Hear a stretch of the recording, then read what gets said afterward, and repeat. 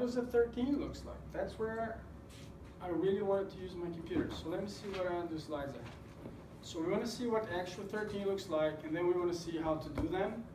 And then we're going to go to the computer lab, and you guys are going to go through it. Now I do have, I found out SSH here. So if I can log into my account, I think I can show you guys how to do this. I have posted on Blackboard somewhere.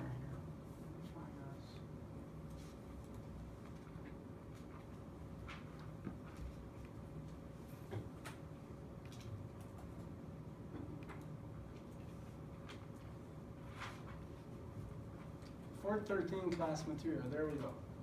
So I post here things that we would need for this.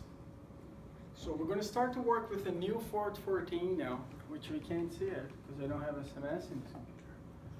This new Fort 14 was developed by Juan and it's much larger than what we have been using so far because we want it to be now in a domain that goes inside at places that have actually land cover so we can run this because the other one was really really a low resolution mesh.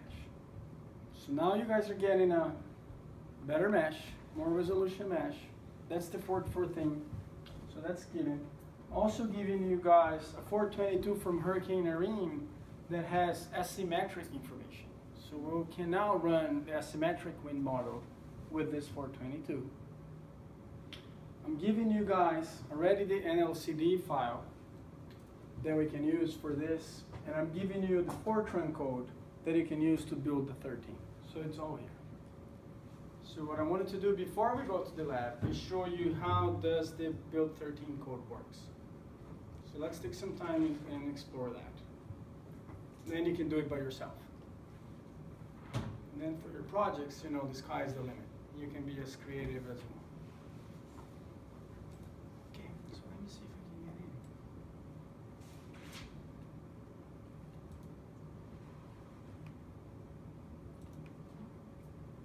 You guys remember what was the name? TACC. So, sorry stampede. Dot TACC dot utexas dot edu